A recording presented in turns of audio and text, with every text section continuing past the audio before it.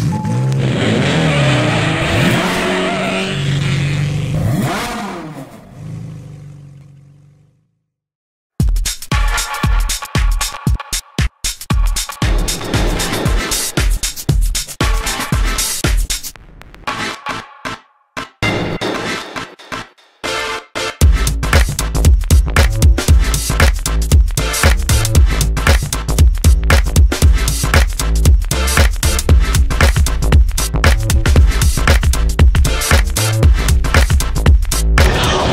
the 2017 Charlotte International Auto Show. Now, every year I crawl through all 400 odd makes and models to see what's new, what's been redesigned, and what's hot in the industry. So come on, let's check out what they've got this year.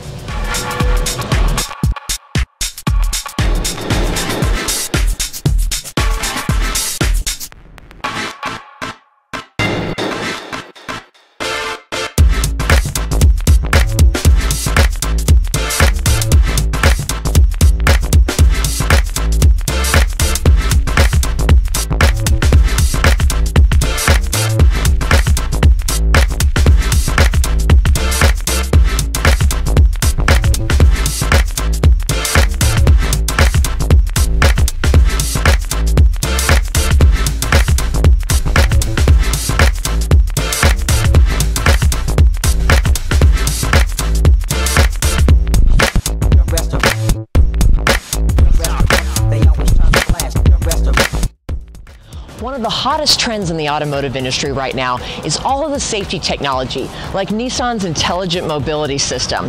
This is all of the electronic babysitters, the driver's aids like blind spot monitoring, lane departure warnings, 360 degree cameras so that you really shouldn't hit anything, even collision braking that will keep you from hitting another car or another pedestrian. Basically, the automotive industry has given up completely on our ability as drivers. But you know, with the crazy traffic that most people have to commute in and the realities of distractions, this technology is going to keep us safer.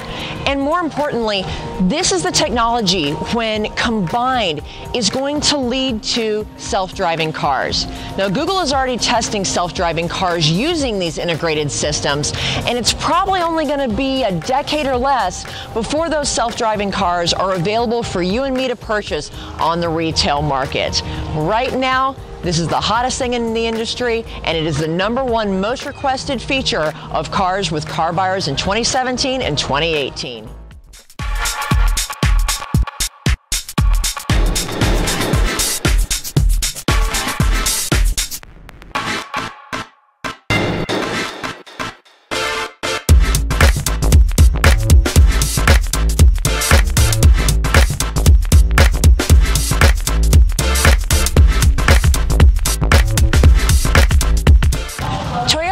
Gone so far with the safety technology to put it in nearly every model they have in their lineup, even in the most basic trim levels. Now, that either means that they're really concerned about everyone's safety or they've completely given up on us as drivers. Now, one of the vehicles that has the new Toyota safety technology is their brand new CHR. Now this vehicle is part of a new trend of vehicles that I call micro SUVs. They're not SUVs, but they're not quite cars either but they give you the benefits of the higher ride height of an SUV, but without all the fuel efficiency problems, you still get a nice small car. The CHR stands for Coupe High Rider. The Japanese named this and I think a little was lost in the translation. But it really is a neat little car. And the target demographic for it is new car buyers who just need something small and fuel efficient and very economical. And also the empty nesters who also don't need a lot of space but enjoy the higher ride height and it's easier to get in and out of. So let's get in and check it out.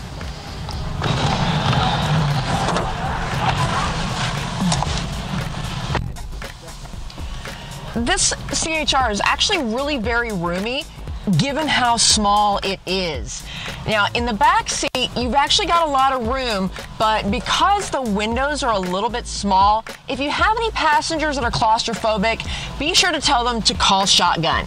But you do get cup holders in the doors back there, and that's awesome. The only downside to Toyota, they give you all the great safety technology, but what they haven't provided is the full integration with your smartphone that a lot of younger, especially car buyers, want to have. They do not offer Apple CarPlay or Android Auto like most of the other manufacturers. So they may lose some market share to Honda, which has adapted all of the cool smartphone technology, in addition to a lot of the safety technology. So it's kind of a trade off, but you know, you can never go wrong with the dependability of a Toyota.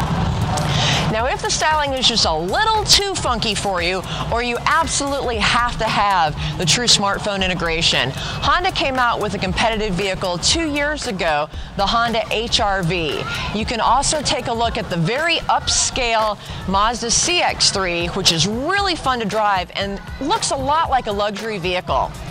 January, Ford is coming out with the Echo EcoSport, and Kia even has the new Niro, which came out in 2017. It's a little bit more expensive, pushing the upper 20s, but it is all-wheel drive and a hybrid vehicle. So in this new segment of micro SUVs, you've got a lot of great choices. This is the hottest, fastest growing segment in the automotive industry.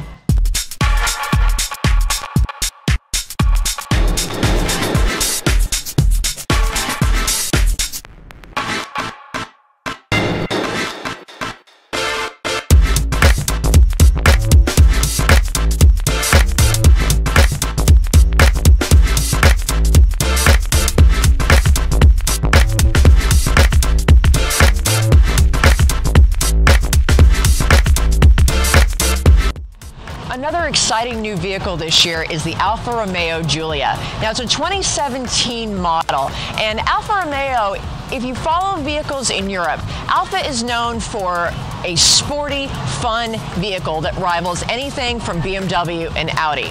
FCA vehicles normally are about as authentic Italian as Olive Garden.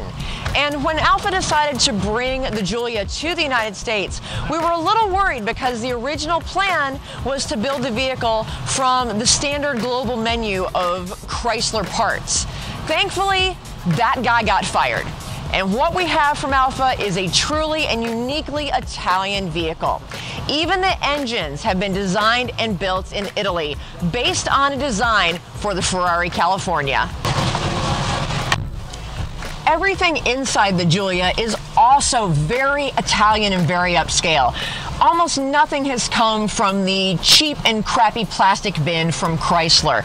You have beautiful leather, very, very clean finish, simple controls, lots of leather, beautiful red stitching.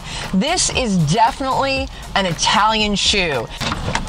Now the Giulia comes in two different models. This happens to be the Quadrifoglio model, and you might think that that stands for all-wheel drive, but it doesn't. Quadrifoglio is Italian for really freaking fast.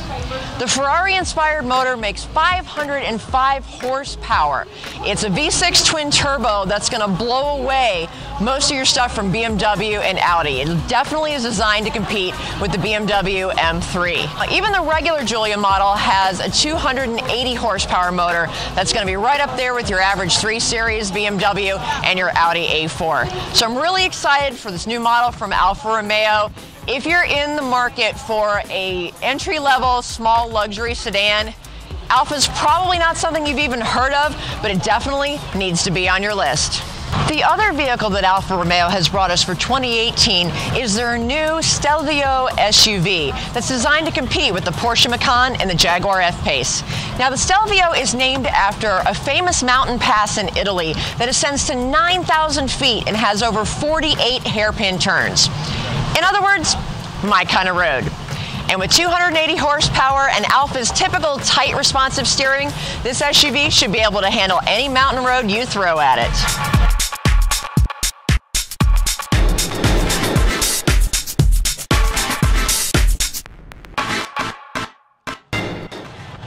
Probably the most exciting new vehicle here at the auto show is the new 2018 Kia Stinger.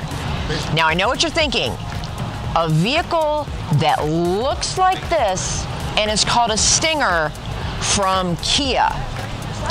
Aren't these the same people that brought us the dancing hamster? Well, according to CEO Justin Sohn, this vehicle represents a totally new era from Kia. This is going to be a rear-wheel drive sports sedan that will come in either a 2.0 turbo or a V6 twin turbo. This will compete with the Audi S5 Sport Wagon and the BMW 440i Grand Coupe. This is a pre-production vehicle, so they're not actually going to let me get into it, but if they were to say loan me one of these cars, I would be happy to test it out, like say on the racetrack. Either way, really excited for this new vehicle, the Kia Stinger. They're due out at the end of 2017, early 2018. This thing's going to top out around $50,000, which is about 20,000 less than a lot of its competitors. Definitely should be on your radar.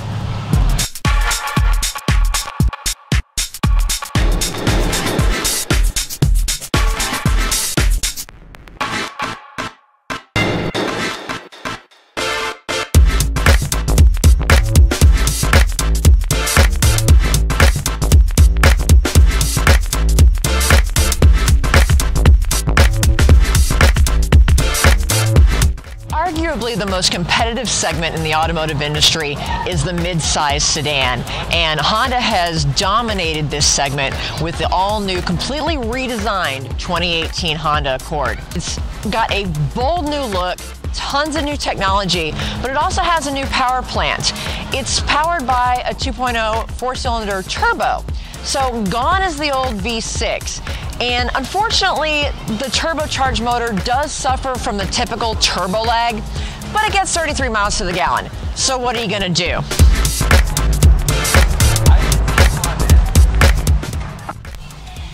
Now, as I said, Honda has put a ton of new technology into the new 2018 Accord. You get all of the Honda Sense safety technology and your Apple CarPlay and Android Auto full smartphone integration. Honda has always had the best, hands down, most robust and easy to use infotainment system, and it's only getting better. So you can change your settings, you can navigate, you can integrate your phone. It does everything on this beautiful big screen right here. Between that and the really cushy, comfy driver's seat, beautifully apportioned interior, plus Honda's reliability, if you're in the market for a midsize sedan, start here.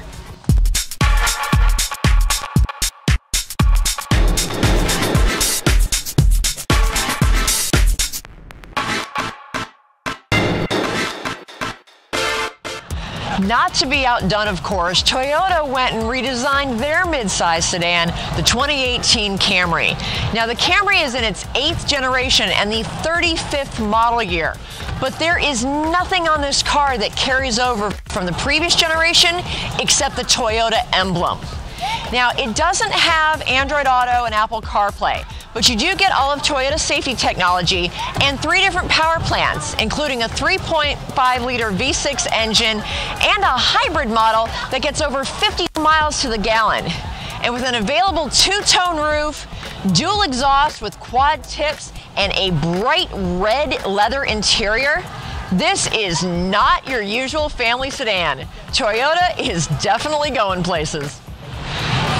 And if neither of those suit you, Hyundai has redesigned the Sonata as well for 2018. Or you could try its cousin, the Kia Optima, or the Nissan Altima, or even the sporty Mazda 3. As I said, this is the most competitive segment in the market, and you've got a lot of really great choices.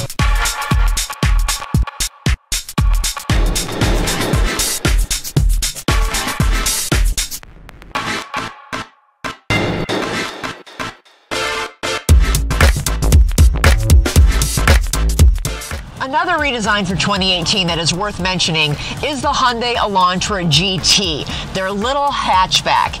Now, to me, the styling is a little meh, but you get a lot of bang for your buck. This thing has a ton of room back here, and you get a lot of great options for very little money. You can get an optional panoramic sunroof, you get all the safety technology and smartphone integration, and you can get heated and cooled seats. Where else can you get air conditioned seats for $25,000? That is what Hyundai is known for bang for your buck.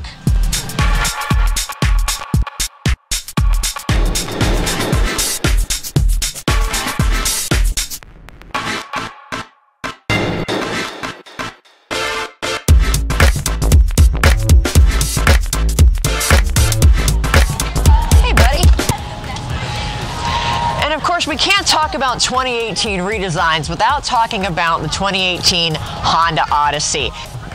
Could you get a cooler minivan? I mean, Honda has redefined minivan and actually made it cool. They have an app called Are We There Yet? So instead of your kids yelling, Are we there yet?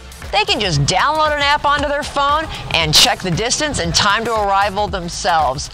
Honda just keeps making the Odyssey better and better. And when a race car driver likes your minivan better than everything else in your lineup, you know you did it right.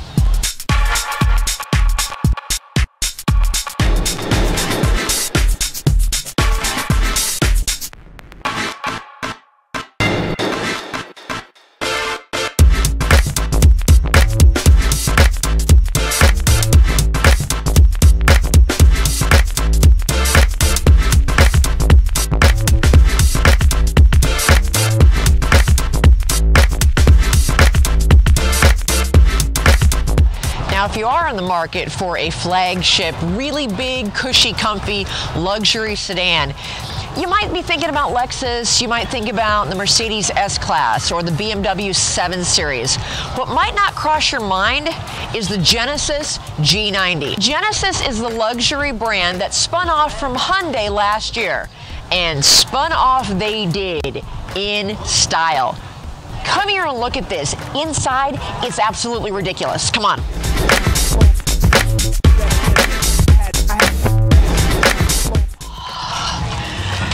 In the back seat here, I have all these controls. I've got my own nice little display screen here, and so does the other passenger. I've got all the controls that I would ever need. I can spin through my radio stations. I can control my butt warmers and coolers. I could probably drive the car from back here. This gives new definition to the term backseat driver. It's like being in first class on an airplane, except there's actually more space and it's more comfortable. I'm just gonna take a nap. You can come back for me later.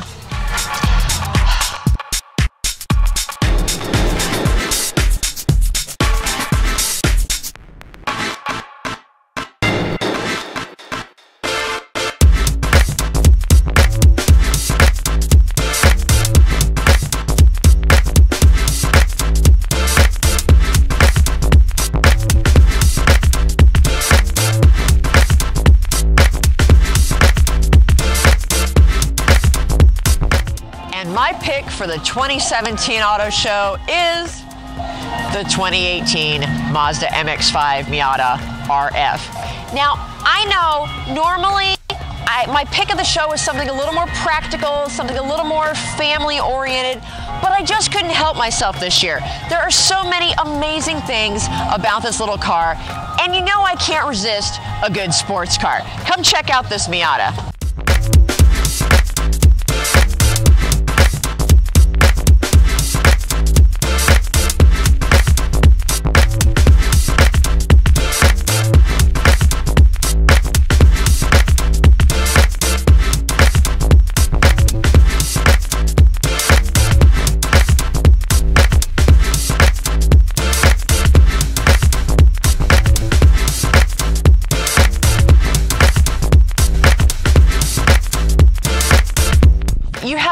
Options on this car, and it is still at heart a Miata. So that means it comes with three pedals and you can drive it sideways.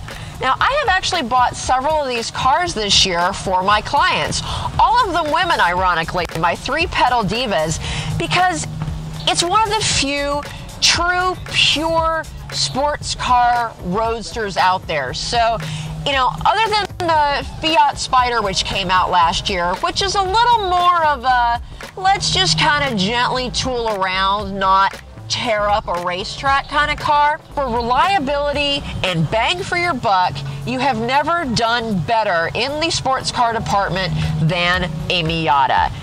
And look at this color. This is called ceramic. It's kind of a flattish, grayish white. It's really unusual. The only other car I have seen this on is in fact a Porsche 911 for like three times the price.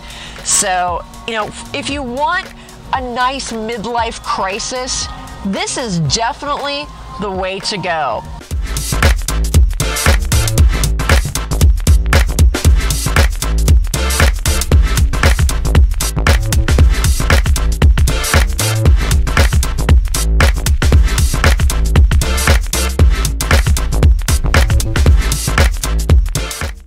Give kudos to all of Mazda because Mazda, while they give you safety technology, they give you all the amenities you want, and you actually get very luxury looking cars for your money.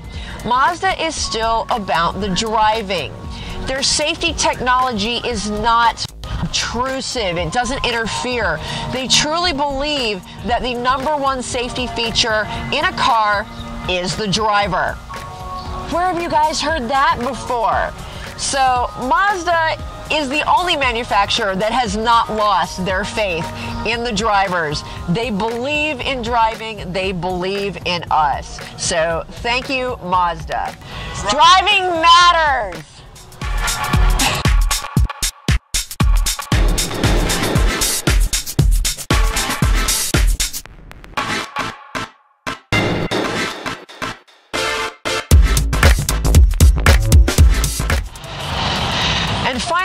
Have come to the infamous WTF Award, presenting the Chevy Spark. I don't have a problem with the Chevy Spark as a car. What I am questioning is the choice of mint green as the color.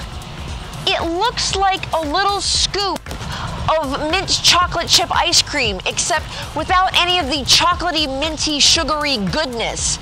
I mean, I would be afraid that it would just melt as you drove down the road. So, Chevy, what were you thinking? What the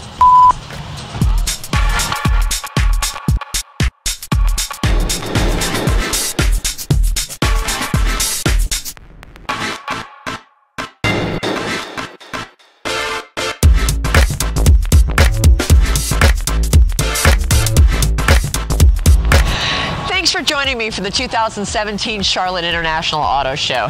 Now, if you're in the market for a new or used car, but you're a little overwhelmed by all the different makes and models on the market, no worries. Here's what you do. Just go to my website, set up a time to talk to me. I help my clients pick the perfect car based on their unique lifestyle, budget, and personality. Then I handle all the legwork and negotiating for you. All you gotta do, sign papers, take keys. It's super easy. Until next year, folks, I'm out of here. I'm going to go find my Mini and head home. Drive safely.